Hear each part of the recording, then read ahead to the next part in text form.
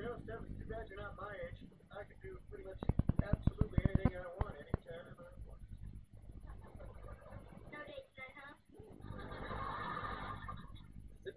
Oh, uh, hey, Steph, what do you say we round up everyone who's free and go see a drive-in movie? Yes! I have plans.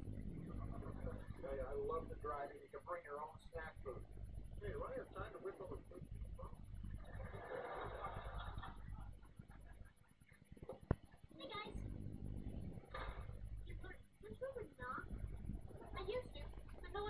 in.